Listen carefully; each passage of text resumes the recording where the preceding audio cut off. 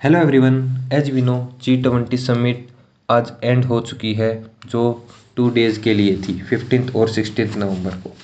इसको होस्ट कर रहा था इंडोनेशिया। बाली के अंदर इस समिट को होस्ट किया गया prime minister of Indonesia Joko Widodo के द्वारा।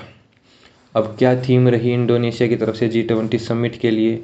वो थीम रही रिकवर टुगेदर रिकवर स्ट्रोंगर इसके अंदर 19 कंट्रीज़ हैं और एक यूरोपियन यूनियन है। यह countries 85 percent of world economy रखते हैं और टू बाई थ्री पॉपुलेशन रखते हैं। इस समिट को स्टार्ट किया गया था 1999 में। अब बहुत सारे रीज़न रहे थे इसको स्टार्ट करने के पीछे।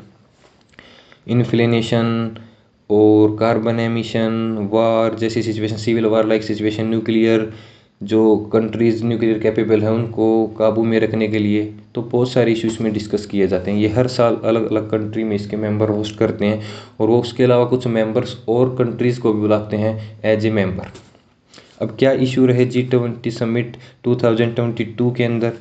कोविड नाइन्टीन को डिस्कस किया गया, इसके वैक्सीन को लेकर डिस्कस किया गया फ्यूचर में ऐसी कोई भी प्रॉब्लम हो तो उसके बारे में भी डिस्कस किया गया। ग्लोबल हेल्थ आर्किटेक्चर के बारे में डिस्कस किया और सबसे इम्पोर्टेंट सस्टेनेबल एनर्जी ट्रांजिशन को डिस्कस किया गया। As we know carbon emission बहुत ज़्यादा हो रहा है, जिसकी वजह से पोल्यूशन बहुत ज़्यादा हो रहा है। ग्लेशियर मेल्ट हो रहे हैं ग्रीन हाउस इफ़ेक्ट बढ़ रहा है ओवरऑल टेम्परेचर राइज कर रहा है।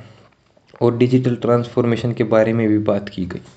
यह समिट 2023 के अंदर इंडिया होस्ट करने वाला है प्रगति मैदान न्यू दिल्ली के अंदर। और जी ट्वेंटी की 2023 का उन्होंने लोगो भी रिवील कर दिया गया है और इसकी अध्यक्षता करेंगे प्रगति मैदान न्यू दिल्ली के अंदर प्राइम मिनिस्टर ऑफ़ इंडिया 2023 सितंबर के अंदर। अब कुछ मोमेंट्स के बारे में डिस्कस करते हैं जो टी ट्वेंटी समिट के अंदर रही। नरेंद्र मोदी शी जिनपिंग से मिले और उन्होंने एक हैंड शेक भी किया। उसके बाद वो ऋषि सुनक जी से भी मिले। उन्होंने उनसे भी बातें की और ऋषि सुनक और इंडिया की फ्री ट्रेड एग्रीमेंट के बारे में उन्होंने बात की। अपने कुछ पॉइंट्स रखे, उसको प्लेजेज लिखी। इंडिया कार्बन एमिशन कब ज़ीरो करेगा? चाइना ने प्लेज रखी। यूएस ने कुछ फंड भी बताया कि रिन्यूएबल एनर्जी के अंदर वो इतने फंड अलाउड करेंगे अलाउंसेस करेंगे।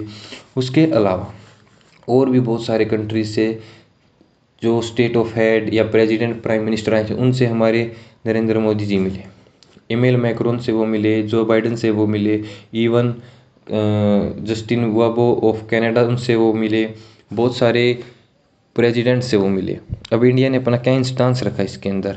क्योंकि नेक्स्ट ईयर इंडिया इसको होस्ट करने वाला है तो इंडिया ने main focus renewable energy solar energy global health architecture digital transformation के ऊपर ही रखा।